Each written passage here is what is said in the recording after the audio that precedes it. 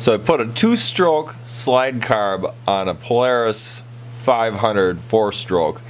Let me show you what this bad boy can do.